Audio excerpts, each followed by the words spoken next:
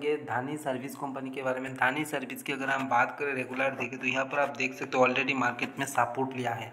यहाँ पर अगर आप एनालिसिस करोगे तो आपको पता चलेगा मार्केट का डिमांड कितना ज़्यादा हाई होने वाला है। ओवरऑल मार्च में नहीं, यहाँ से अच्छे का साफ़ ट्रेंड की तरफ़ दिखने को मिला। इसके बाद मार्केट फिर से डाउन ट्रेंड की तरफ़ दिखने को मिला है। अपर लिमिट की अगर हम बात करें तो अपर लिमिट लगभग है दोस्तों थर्टी टू के आसपास मार्केट का एक अपर लिमिट है। ये यहाँ पर अगर ब्रेकडाउन हो जाए तो मार्केट का पोजिशन बहुत ज़्यादा चेंज हो सकता है। इसके बाद मार्केट थोड़ा सा डाउन ट्रेंड की तरफ़ दिखने को मिले तो यहाँ पर आप देख सकते हो thirty one point forty five में मार्केट का एक सपोर्ट लेवल है।